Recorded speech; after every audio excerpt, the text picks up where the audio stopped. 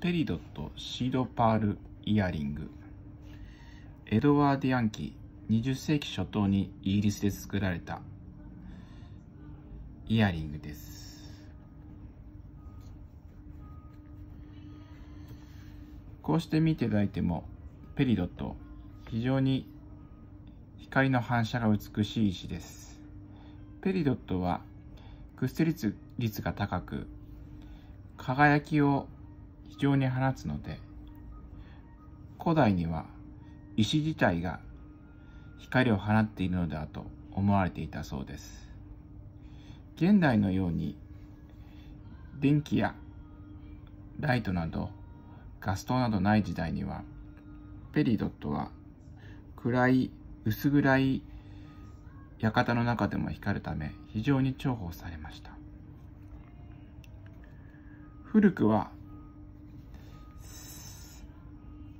紀元前1500年頃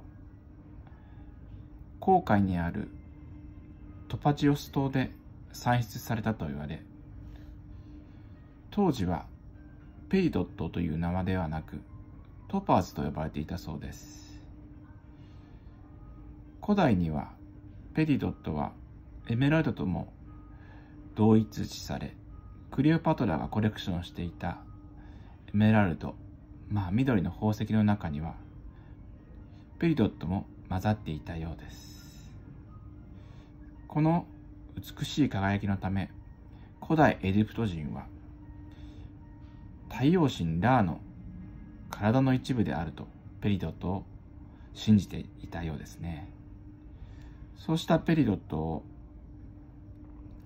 20世紀初頭エドワーディアン期にピアスとしてされたものを後の時代にイヤリングに加工したものです。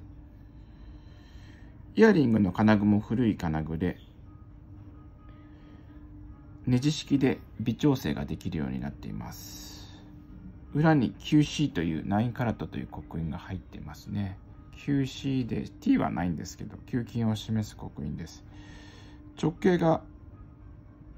金具の直径がちょうどイヤリングのシードパールがセットされている部分の台の直径とほとんど同じなので違和感がありません。こうしてアップにすると繋いであるのがわかるかと思います。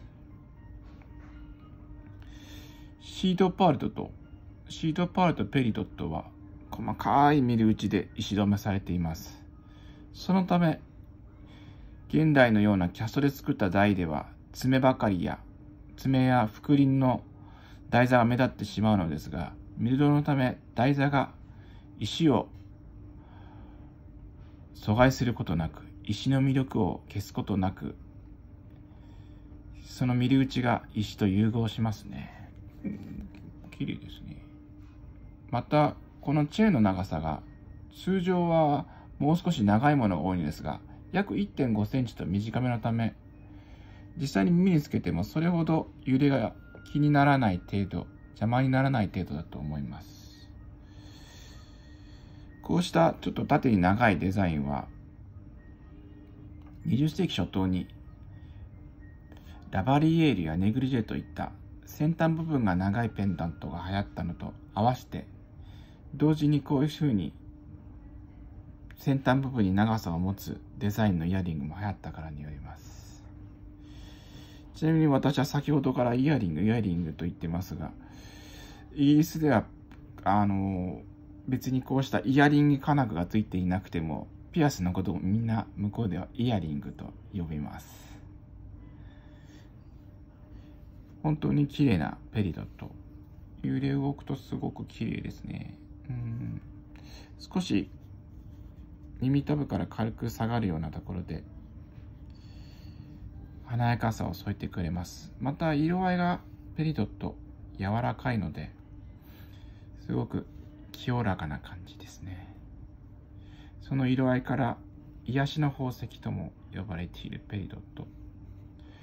シードパールとの相性もいいでしょう。イヤリングのアンティークは本当に数が少ないので、ぜひこの機会にご検討ください。エドワーディアン機のさりげなく使える一品です。